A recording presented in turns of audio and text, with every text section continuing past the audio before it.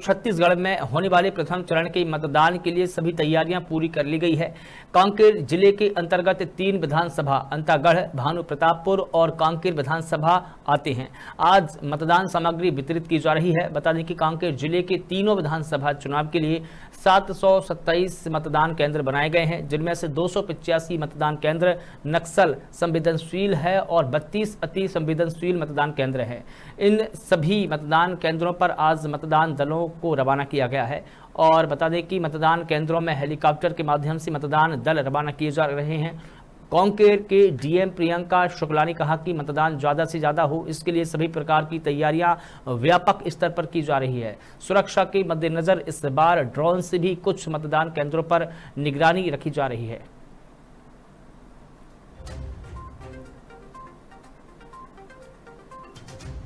मतदान दल जो देखिए डिस्पैच हमारा तीन जगहों से हो रहा है। आज कांकेर से जो है, कांकेर और भानु प्रतापपुर विधानसभा का हो रहा है। अंतागढ़ और पखानजूर से रिस्पेक्टिव एरियाज़ का हो रहा है। अंतागढ़ और पखानजूर का डिस्ट्रीब्यूशन लगभग कंप्लीट हो गया है। हम लोग भी अभी मेरे ख्याल से आधे एक घंटे में कंप्लीट कर लेंगे।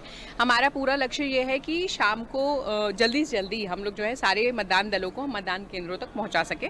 सुरक्षा की व्यवस्था जैसे आयोग के निर्देश है, बिल्कुल उस तरीके से किया गया है। जैसे कि आप जानते हैं हमारे कुल सात सौ सत्ताईस मतदान केंद्र हैं। इसमें से तीन चौसठ में हम लोग जो है वेबकास्टिंग भी करा रहे हैं। जिससे अगर किसी को मतलब जो भी वहाँ पे प्रक्रिया होगी, वो सब आयोग की नज़र उस पर बनी रहेगी। इसके अतिरिक्त माइक्रो ऑब्जर्वर्स भी रहेंगे। और जैसे कि आप जानते हैं कि सेंट्रल पैरामिलिट्री फोर्सेज के बल तो है ही।